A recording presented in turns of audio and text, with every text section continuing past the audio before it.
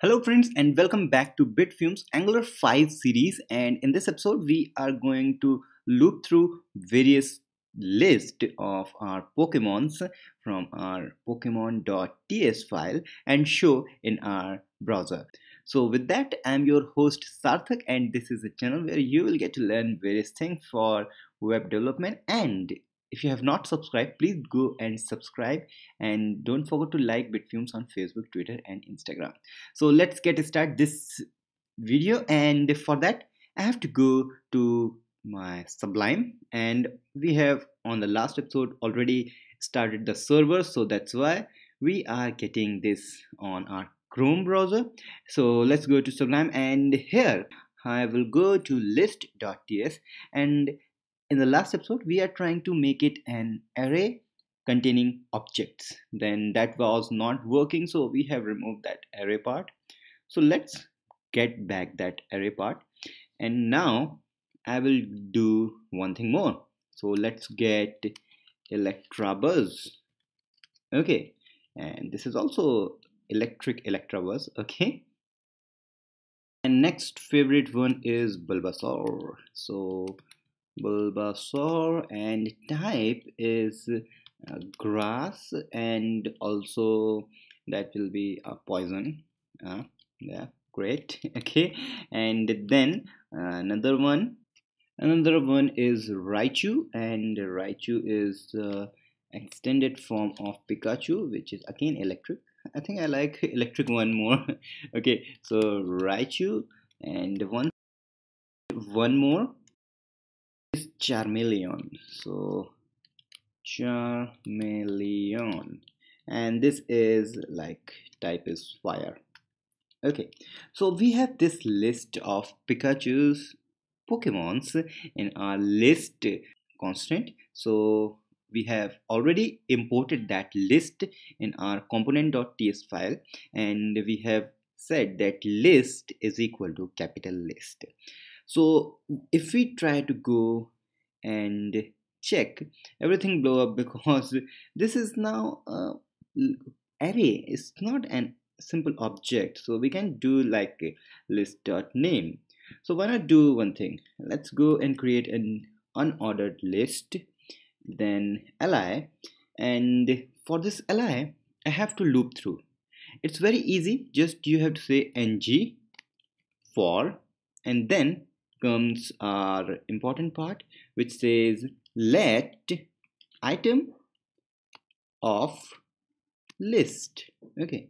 But here comes important most important part. You have to make asterisk before ng for this is a very important part of ng for you have to give this asterisk.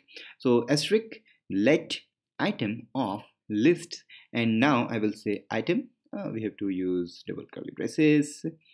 Okay then comes item dot name. Save this file. Let's go to chrome and supremely easy. And you can see uh, what's that? Uh, let's just remove that.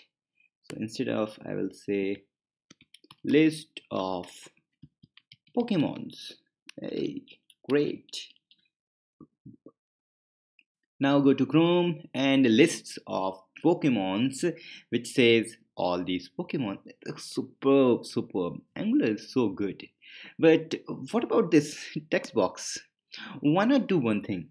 Let's get a new thing uh, that if I click on anyone, I want to get that type of the Pokemon in this text box.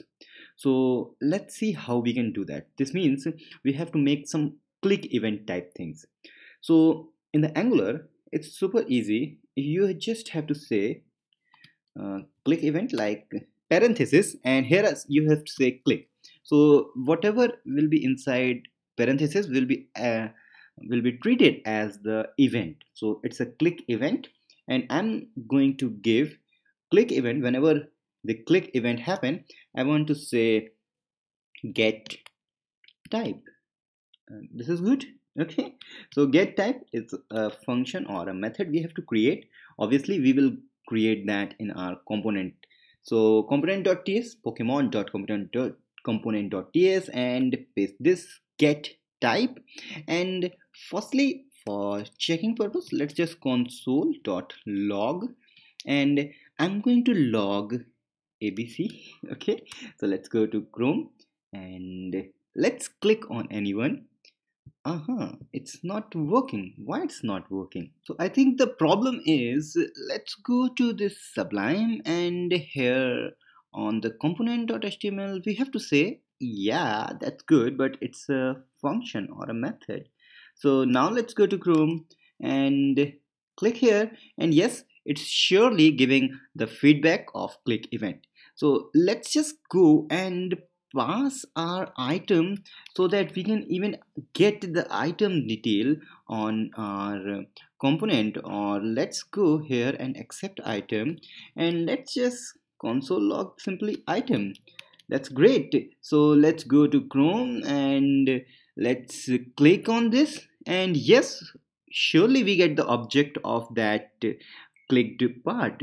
So we are getting the name and even the type so why not just go and create a new variable?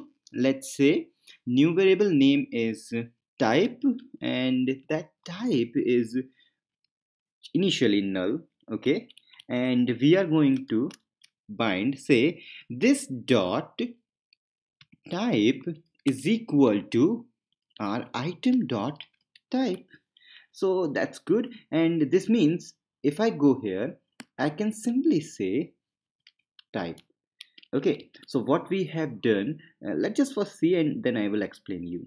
Okay so let's give Charmeleon fire Electabuzz electric bulbasaur grass or poison. So it's super super easy super easy to do all these things. So let me just explain you what we have done. We have get a list of pokemons here as an object and all these objects inside an array then we have imported that list from list.ts file and called it a list with a capital L then we have said simply list variable is assigned to list with a capital L. Then we go to here component.html part.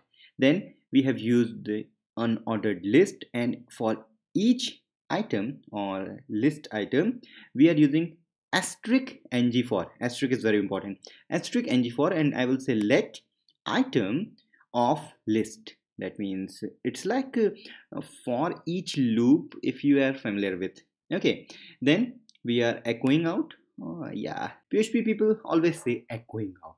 Okay we are displaying this item dot name and then we are having all these lists. But i have said that whenever i click on any one then just do this function whatever we have given and this function. So i'm passing just item and here in this function or method whatever you call i have said that type variable i have defined null.